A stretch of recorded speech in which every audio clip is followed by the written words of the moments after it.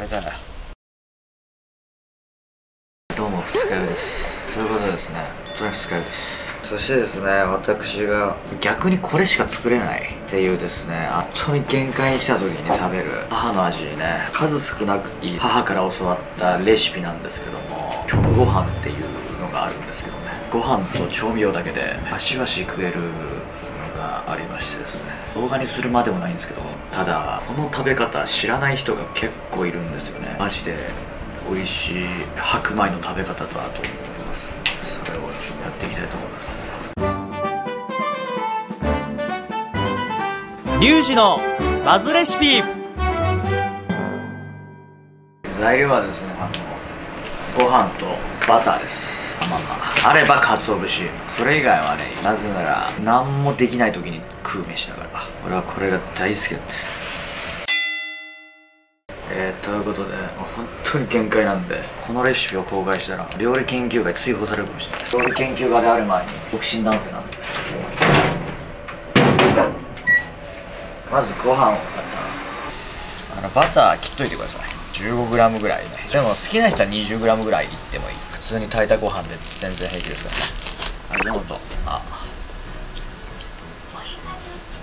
4 4ぐらい。でなんでなんでもいいんだけどもう俺もうこれが食いたいんだ醤油適当にかけてくださいあればね。鰹節。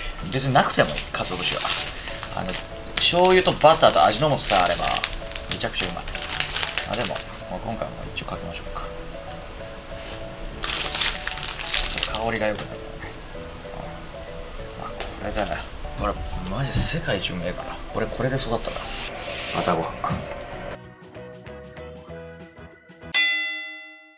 幼い頃よりバターいっぱい乗っけちった大人の良さだよな。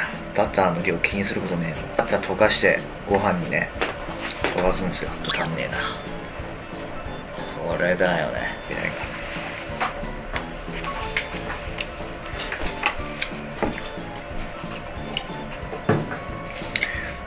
なんでこんなうめえのこれめちゃくちゃうめえうん。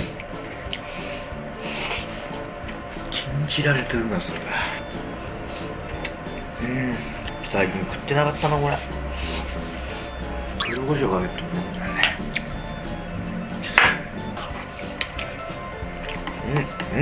うん。うめえ。これがうめえって言った時はみんなにバカにされてっちゃうな。こういうのがうめえんだよ料理研究家の今だから言うけど。バターご飯は一番うめえ。みんな卵かけご飯が一番って言うけど俺はやっぱりバターご飯かな。バターってね結構賞味期限長いからずっとなんだよね。うんタバスコね。これだ辛みと酸味があって最後まで美味しくいただける。うん。うめこういうのがいいんだよ。味の素のうまみを効いてて。